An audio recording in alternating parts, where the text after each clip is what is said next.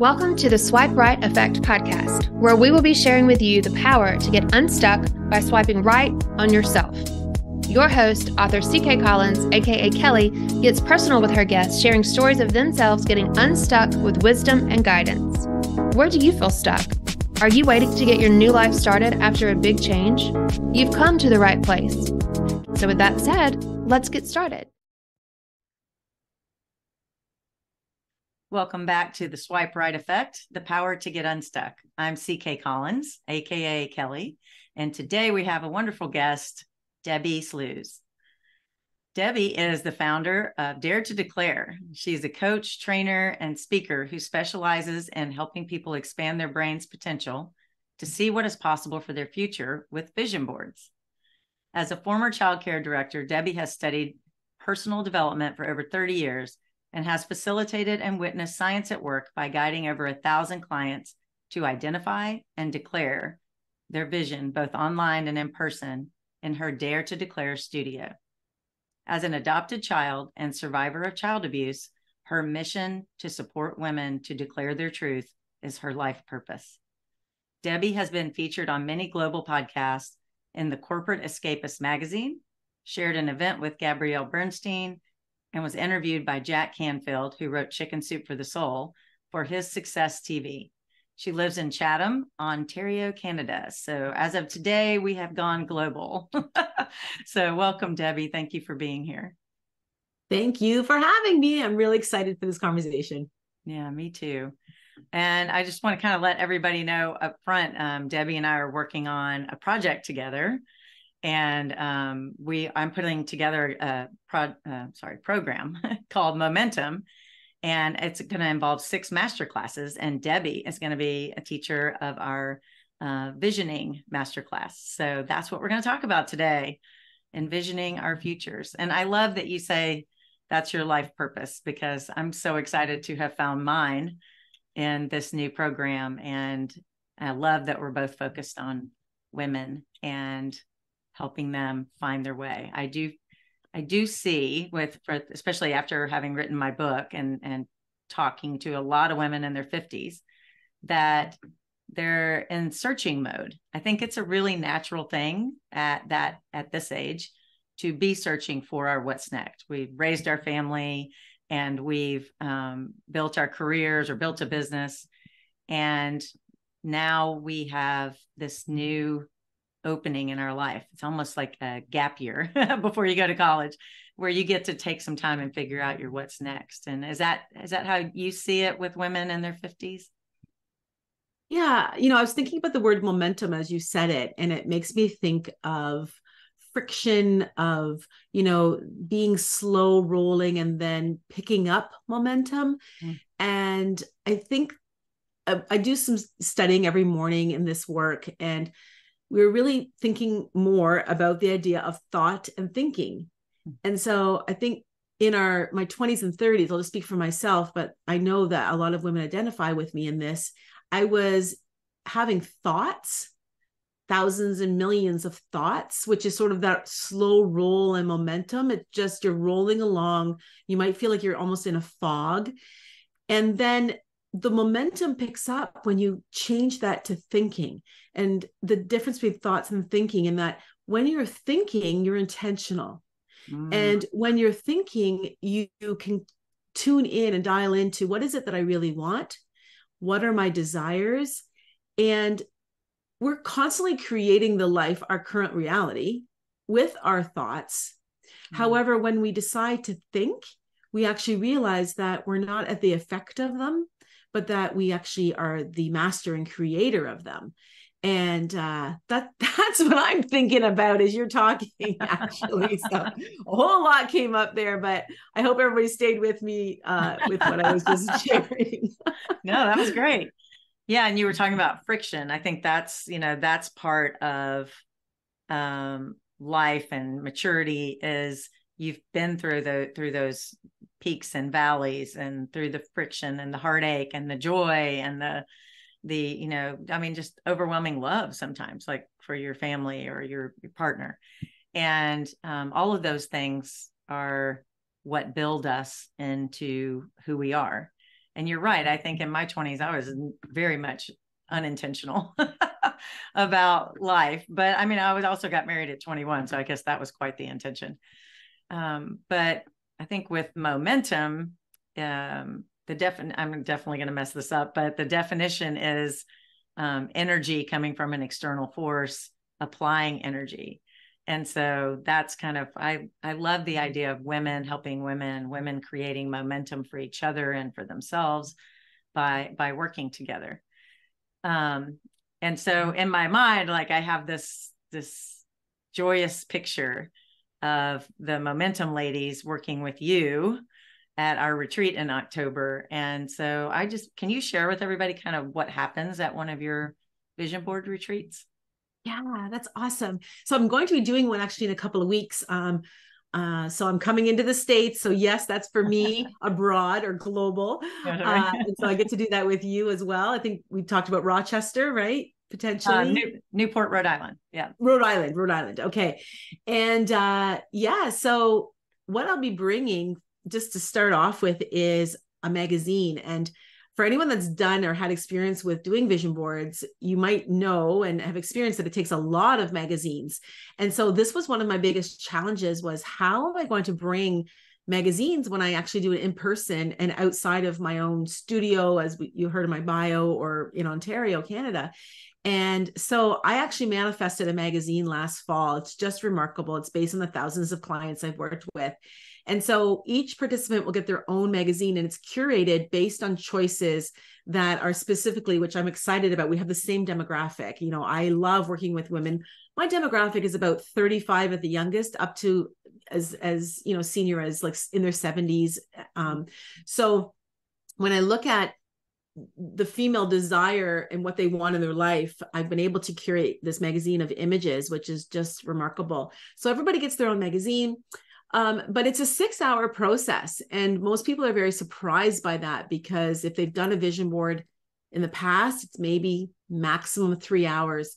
But like you do with your clients and and what I do is we we need to delve in deeper and you mm. can't you know if I think about the image of construction you can't build uh, a new vision a new house on top of a garbage dump.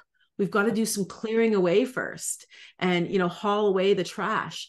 And so the trash the junk you know like junk mail we get to empty that out is we get to look at it and discover. So maybe that's you know what's been driving the bus all these years in our mm-hmm. 20s and 30s and we just been on autopilot and we've been be- behaving in my case you know from some things that were coming coming up for me in my adoption and things that were coming up from my childhood abuse and the little girl who was protecting me, she was really running the show. And for many years, that worked and then it didn't. And so mm. we get to notice what is it, the, those paradigms, the limiting beliefs that might be holding us back from stepping into our dream life. Mm. So that's, we have lots of beautiful exercises that I will lead uh, the participants through. Um, expect a lot of laughter, expect some tears, uh, but all of it is beautiful and just an expression of your truth. And mm-hmm. then, uh, so we provide notebooks and a pen because you're want to, going to want to take notes. And then the second part, so that's the first part, which is dreaming. And then the second part is discovery. And you get into the magazine, and I'll bring some additional images with me as well. And you discover what it is that you really want and again, those are exercises that I walk you through um, sometimes in pairs, sometimes in the group, and sometimes just individually going, reflecting yourself. And then the last part of the workshop uh, and the experience has to do with declaring it and also giving you real, tangible uh, activities and challenges to apply it because people miss sometimes mistakenly think that the law of attraction if they watch the secret or you know they think about vision boards hmm they're just magic just kind of happens. Well the word action is actually embedded in the law of attraction. And so we talk about setting goals after after you've created this vision board. Now how you know how are you going to change your habits what habits do you want to change that will then invite this new way of being which will then attract and manifest your full vision so that is it in a nutshell. But I mean, like I said, it takes six hours. So it is a really life changing experience. And I've had so many beautiful miraculous stories come from when people take the time and this is one of the highest forms of self-care they can go to mm-hmm. the spa i mean i love a good massage and going to the spa but you know you get back to life and it kind of goes back to maybe the same old stressors that you were dealing with the day before. Mm. uh, whereas a vision board you're taking it home and it's it's something to help you self regulate and to focus on and to change your your day and the next day and the next day until again you're li- living this most gorgeous beautiful life. Yeah. Thank you for sharing all that. And i think that's um, helps give a, a picture of that. And um, and i think when you know you talk about images and i know there's a lot of different ways to do visioning for yourself but having something to look at every day and focus on is you know a practice. And so you you know you create this wonderful thing and then um, you have a practice. And i think you you brought up law of attraction so i definitely want to go there. I love to talk about that. And i know we're both um, fans of uh, jack canfield and um, have both attended his his work his retreats. And so um, how how do you handle law of attraction or when you're explaining it to someone and how much of that is part of your practice and or no, I guess you're coaching, sorry. And um, where how, how do you guide somebody into the law of attraction and a practice of that? Yeah, well, as you heard in my bio, I, I was in childcare for 30 plus years. Mm. And so I was a director, so I wasn't working directly with children, but I, I still have I maintained my certification as an early child educator.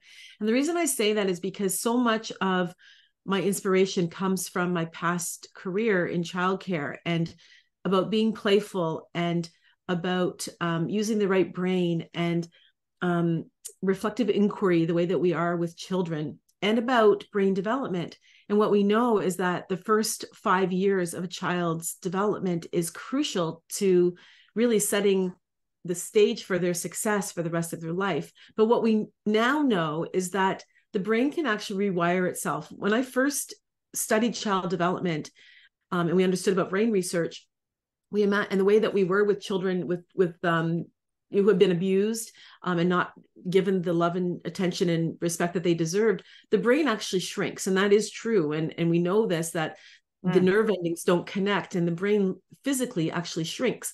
Um, there's um, a doctor here in Canada, McMaster University. Her name is Dr. Jean Clinton, and her mantra for early years is "Love grows brains." And so, you know, in my previous career, that was something I would encourage my educators to to uh, contemplate but what we know now is that the brain can actually grow leafy type branches and with focused attention. So I love that you brought up about habits mm. and and about it being positive.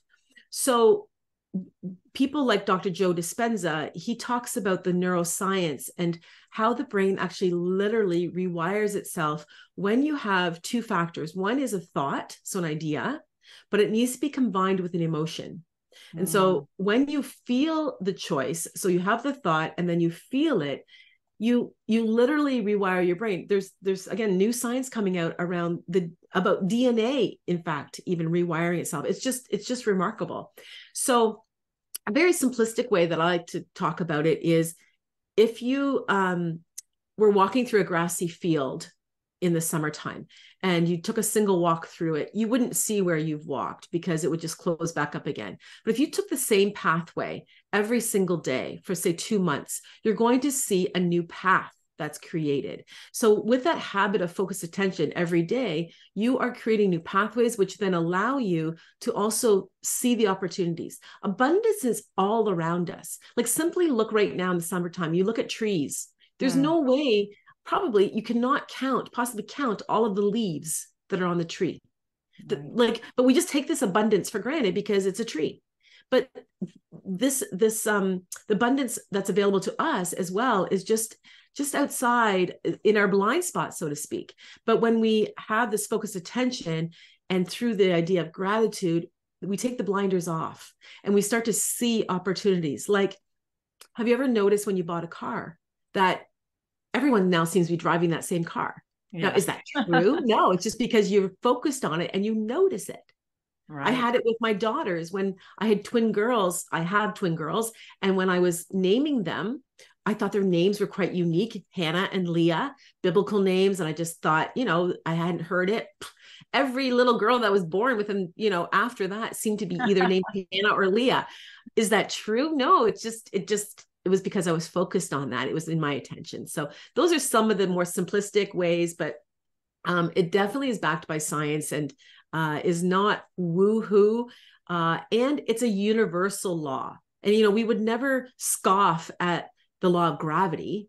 Like you, you do that, you're going to get hurt because things are going to fall on your head. So, you know, the law of attraction, meaning that where your focus goes, your energy flows.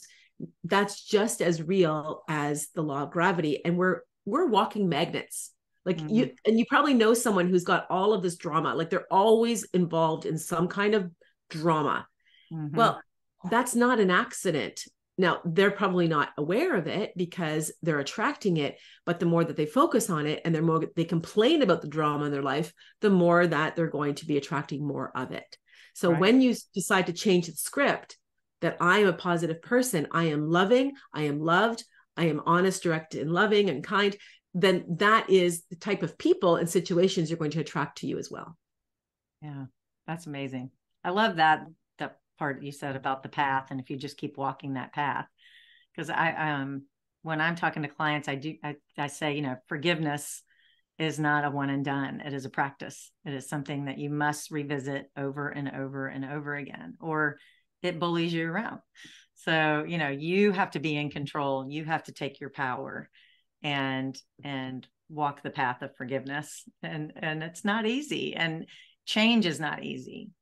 Um, but when you start taking back your power it it becomes easier and it becomes so so uplifting um, i know on your website you um, it says you empower people to live their best lives and be the best professional they can be by discovering their vision balancing their lives and realizing their inner power so, can you talk about that, the inner power? Yeah, I think uh, that's a great question. I'm thinking uh, right away what comes to mind, and my intuitive thought is intuition. Mm. And so the inner power really is the inner knowing. And, you know, both of us have followed Jack Canfield, and he actually has an exercise where you ask yourself a question, and depending on if it's a yes or no, your body actually leans back or forward. And so we all have this within us and and we speak about it like I can feel it in my gut or I feel it in my heart or I can feel the tingling in my arms. But do we actually give it the respect that it deserves in terms of helping to guide us with decisions? Mm-hmm. And so that inner power is that inner knowing. And it's something that we were born with and it like again i'm a christian so i talk about it in terms of the holy spirit but mm. for other people it's just that inner knowing and circumstances culture people religion can quiet it and we we start to trust more into the left brain or we um you know shush that because someone else has told us that they know better than what we actually know for ourselves so when what I love to do is, as I said, is help people get clear on what they want. And that also is a very intuitive process. So during the vision board ex- exercise, I don't start off with, okay, what do you want for your career? What do you want for relationships? What do you want? That that's and that's a typical kind of vision board, but actually, as I said, it takes a couple of hours for us to open up the right brain and get into that creative side and use your intuition. So as you're going through the images, as I said about the feeling, the emotion plus the thought, those two need to work together. So if you're only using those seven areas to kind of guide that process, you're going to have more of it's going to be aesthetically pleasing, it's probably pleasing your ego, but it's not actually from that true inner voice and that inner knowing. So it's feeling the choices that you're making for the vision board as well. So that's what I help people do. And when they're authentic, their most authentic self, um, that's that's again where they're going to manifest the most quickly. Yeah. Um, thank you for that. the other day when we were talking, um, you were you were explaining to me the difference between goals and visions. And it really impacted me. I bet i have told four different people. This lady debbie i met she said this is the difference between goals and vision. And it just it's so impactful. So i'd love for you to share that with our listeners. Sure. I think that the words are often interchanged. In fact I, you know, like everyone else, I've been playing around with the AI, you know, yeah. GPT or whatever, throwing my stuff in there, see what comes out. And actually, what I realize is because it's a compilation of what people know about visioning and vision boards and goals, is that it actually doesn't align with what I teach uh, because most of the information out there it inter- interchanges the word vision or vision boards and goals. And so, yes, we clearly distinguish between the two. And that's actually what makes creating a vision board scary. Mm-hmm. But on the other hand, it makes it less overwhelming because I think many people stop themselves from creating a vision board because it feels like a hustle, it feels like the doing. Mm-hmm. And so, the vision board, the way that we do it with the Dare to Declare, is based on three words. And so, if anybody's listening here, you might want to get out a pen and paper. This one, this is really good. So most people think of a vision board as what do I want to have? What do I need to do to have that stuff? And then I'm going to be happy. And we flip it on its head. Who do you get to be? Then what do you get to do to be the best version of him or her? And then the have, the abundance shows up. And so using that, you know, be, do, and have, it's the be that's actually the vision, the highest version of yourself. Who do I get to be? So I talk about um, I'm million dollar Deb. So um, when I, you know, make a choice with my clothing, for example, I'm like, well, what would million dollar Deb do? Right. So that's my vision. But the vision is also when you're putting images on the board, if you know the how, uh, and again, our ego, and I say this in the kindest, but our ego just wants to do that. It, it wants the gold star. It wants to make the connection. It wants to create a to do list. If you know the how, it doesn't belong on your vision board. It needs to be bigger. It requires divine intervention. Is that scary? Heck yeah. So, because we just want to get to, you know, that doesn't feel realistic. How is that ever going to happen?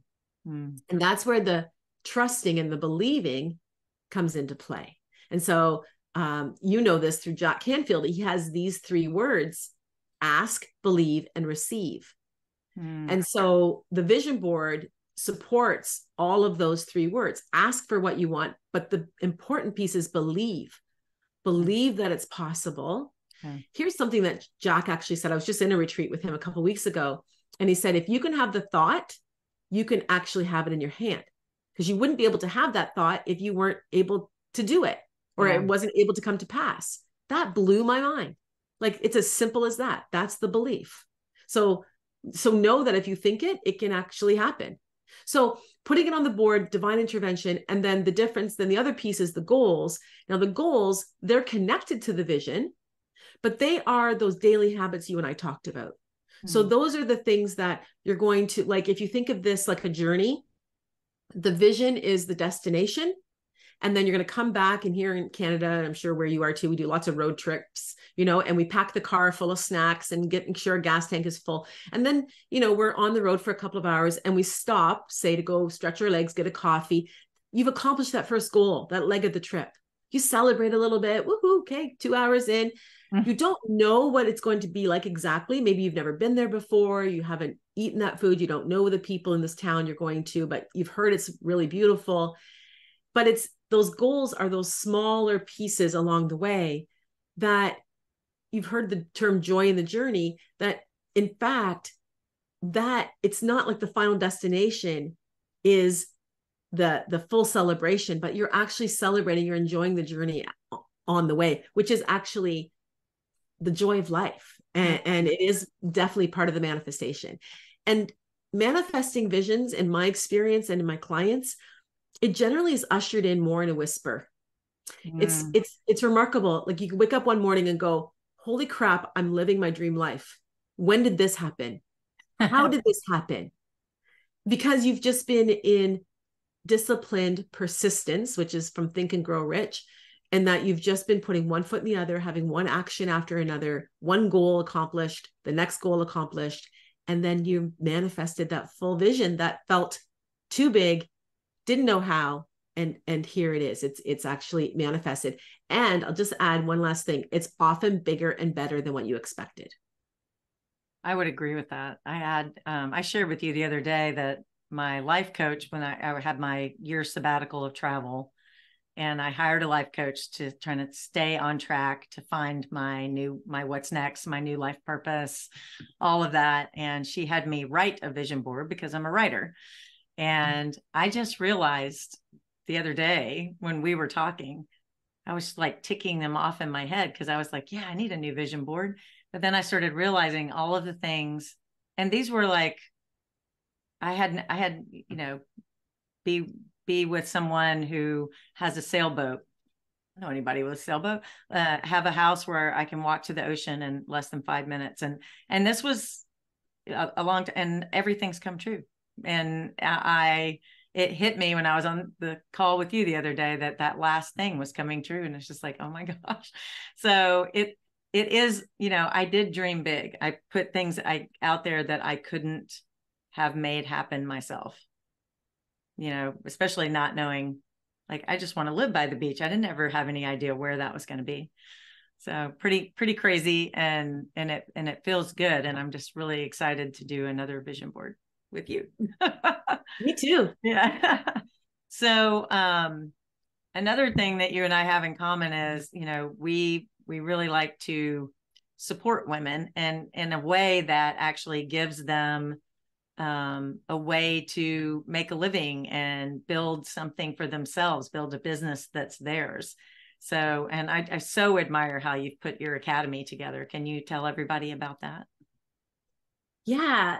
You know, it's funny that not every manifestation or vision is you might feel is welcomed. Like mm-hmm. for me, this is my I, I love this manifestation of the academy but i resisted it like mm. i had colleagues and coaches in my coaching program asking me to offer them an online vision board which i did and they're like dad this is great can we use this in our coaching like we all talk about imagination and visioning but nobody's doing vision boards like you are that aligns with coaching and i said sure just give me credit and then i just felt like this like big tap on my shoulder like you know, God was going, um, excuse me, I'm trying to give you something here. And I was like, oh no, that feels really big and scary. So I looked on the internet, I searched everywhere. Look, there's got to be someone else doing this. And there wasn't.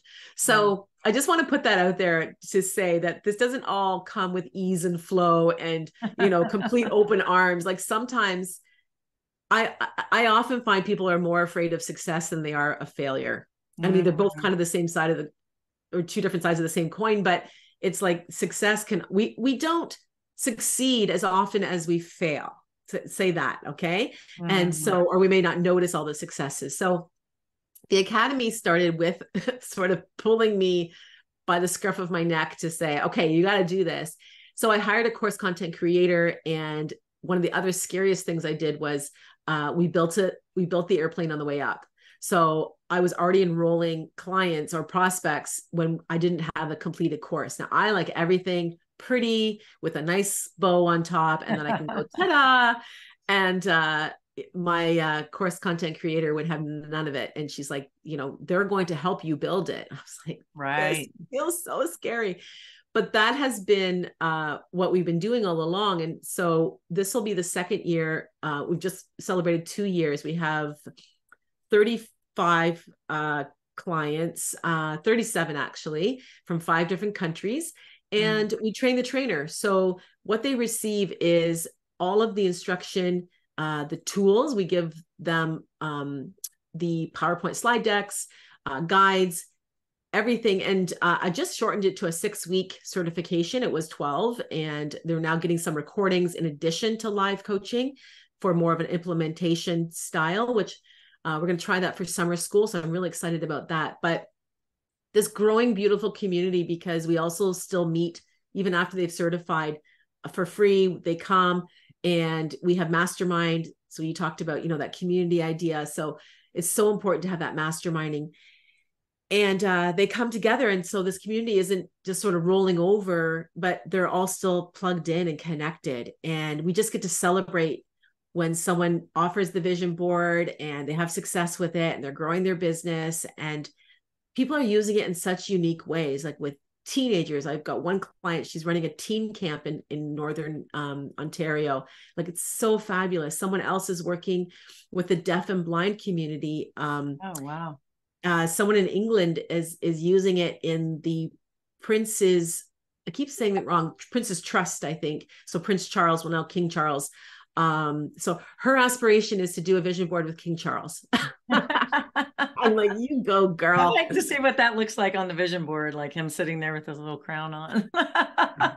yeah, for sure. And that's so funny because one of the protocols is that you put a picture of yourself in a happy time. So uh yeah, we'd ha- he'd be sitting on the throne, I suppose. yeah, he finally got there. He finally has yeah. a happy time. That's amazing. Well, um, just wanted to go back and retouch on how we're working together coming up in October. Um, as part of the Momentum program, Debbi has agreed to teach a masterclass on visioning, and um, it'll be it'll be that six hour course. It'll be our longest masterclass. Most of them are two hours, but so I'm so excited to to work with you. Thank you for coming on and um, and letting our listeners understand more about visioning and and inner inner power inner wisdom all the things we talked about because i i don't know you blow me away. I think you're amazing and so thank you for being on my podcast. Thank you so much and i just want to acknowledge you too for what you're building and creating. And you know the visioning is one piece but there as we said there's the other piece which is goal setting. It's also more around knowing yourself setting like we talked about our purpose it's key to have that why and otherwise you're just going to burn out. So you know you really support and wrap around the women in all those areas and give them um, that beautiful full experience. So i think anyone joining your program is going to be so blessed and very lucky uh, to have you as their coach. So i'm excited to be part of that. Thank you. Yeah thank you. So um, tell everybody how they can get in touch with you. The easiest is probably my website because the my social media handles are right in there and there's contact information. Actually there's something fun and free uh, on my front page there's a fun quiz. So it will give you a score on how big you dream how well you discover and how clearly you declare what it is that you really want. So just check it out. And uh, so my website is my name which is debbi d-e-b-b-i sluys s-l-u-y-s dot com or you can go to dare the number two declare.com. Dare to declare.com. I love it. All right. Well, thank you for coming on today. And um, my last question is what I ask every guest What feeds your soul? Thank you for that question. I just feel it in my body. So, mm-hmm. I had a meditation with a coach um, in the wintertime, and I was sitting on a beach in my in my meditation and i could see and i asked the question what do i need to do? What do i need to do next? And i i felt it was god and he said just stay near me. Wow. Stay near me. And so I've made a commitment every morning as part of my meditation. And I've actually downloaded an app and I read my Bible, but just to have a, a, a, a wise word of scripture and it's got music behind it and for me to meditate on that. So that's what feeds my soul is to be quiet to reflect to know that i am supported and that everything is exactly the way it's supposed to be. Wow. That's beautiful. Gosh i always love the answer. I will keep asking this question because everybody blows me away. Yeah. All right. Well thank you again and uh, appreciate the listeners tuning in today and we will see you next wednesday Bye. Kelly's book is available on Amazon and through your local bookstores. Look for the Swipe Right Effect, the power to get unstuck. Kelly's interviews with 10 friends from around the world unlock powerful truths to getting your new life started.